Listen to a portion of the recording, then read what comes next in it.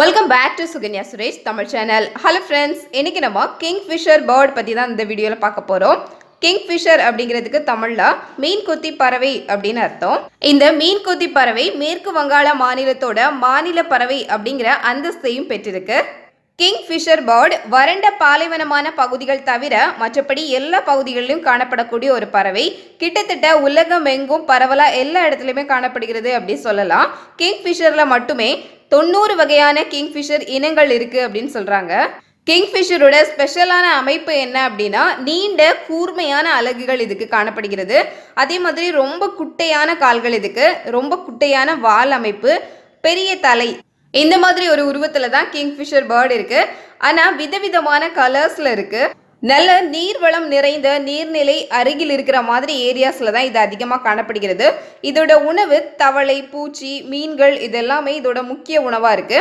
நீர்நிலைகளில் நீந்தி கொண்டிருக்கிற மீன்கள் எல்லாத்தையும் தண்ணிக்கு உள்ளே போய் வேட்டையாடிட்டு வர்றது தான் இதோட ஸ்பெஷல் நீருக்கு வெளியேயும் சரி நீருக்கு உள்ளேயும் சரி இதோட கண் பார்வை திறன் அப்படிங்கிறது ரொம்ப சிறப்பாக இருக்குது நீருக்குள்ள மீன்களை தேடுறதுக்கு ஏதுவாக இதோட கண் பார்வை திறன் ரொம்பவே துல்லியமாக இருக்குது அப்படின்னு சொல்லலாம். இதற்காக இதோடைய கண்கள் வட்ட வடிவத்தில் இல்லாமல் முட்டை வடிவத்தில் இருக்குது பல்வேறு விதமான வண்ணங்களில் கிங்ஃபிஷர் பறவைகள் எல்லாமே இருக்குது பார்க்குறதுக்கு ரொம்ப அழகாக இருக்கும். ஒரே பறவையில் டபுள் கலர் ட்ரிபிள் கலர் அப்படியெல்லாம் இல்லாமல் ஒரு பறவையோட உடம்புலே ஐந்துக்கும் மேற்பட்ட வண்ணங்களை நம்மளால் பார்க்க முடியும். இதோட இறகுகளை பயன்படுத்தி விசிறிகள் தயாரிக்கப்படுகிறது. நல்ல வண்ண வண்ண விசிறிகள் எல்லாமே தயாரிக்கிறாங்க. அதே மாதிரி இதோட இறகுகளை கொண்டு பெண்களுக்கு தேவையான ஆபரணங்கள் இயர்ரிங்ஸ் எல்லாமே இதுல இருந்து தயாரிக்கிறாங்க.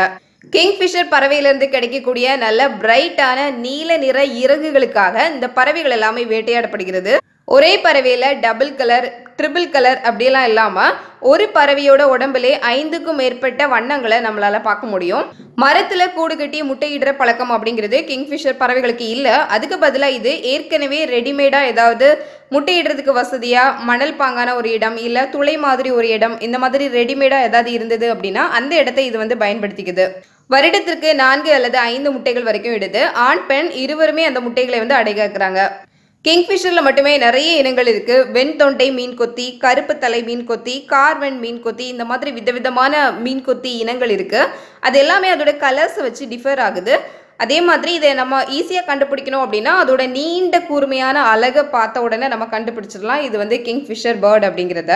கிங்ஃபிஷர் பறவைகள் தமிழ்நாட்டிலும் இருக்குது தமிழ்நாட்டில் மேற்கு தொடர்ச்சி மலைப்பகுதிகளில் ஆனைமலை காடுகளில் இது அதிகமாக காணப்படுகிறது அப்படின்னு சொல்கிறாங்க நிஜமாவே இது ரொம்பவே கலர்ஃபுல்லான அட்ராக்டிவான ஒரு பறவை தான் கிங்ஃபிஷர் நீருக்குள்ளே போய் மீனை பிடித்து கொண்டு வரும்போது அந்த மீன் உயிரோடு தான் இருக்கும்.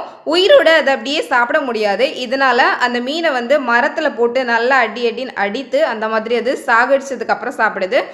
மரத்துலேயோ அல்லது கல்லுலேயோ போட்டு அடித்து அதுக்கப்புறம் தான் அந்த உணவை வந்து சாப்பிடுது. இதுலேருந்து இது ஒரு அசைவம் சாப்பிடக்கூடிய ஒரு பறவை அப்படிங்கிறது தெரியுது. கிங்ஃபிஷர் பறவைகள் நிறைய கலர்ஸில் கிடைக்குது. நம்ம நினைக்கிற மாதிரி நிறைய கலர்ஸில் வந்து கிடைக்குது. இந்த வீடியோ வழியாக கிங்ஃபிஷர் பறவைகள் பற்றிய சில தகவல்கள் பார்த்தோம். இந்த வீடியோ உங்களுக்கு பிடிச்சிருந்தா லைக் பண்ணுங்கள் உங்களுக்கு பிடித்த பறவைகளோட பெயரை கீழே கமெண்ட் செக்ஷனில் சொல்லுங்கள் இன்னொரு வீடியோவில் பார்க்கலாம். Thank you so much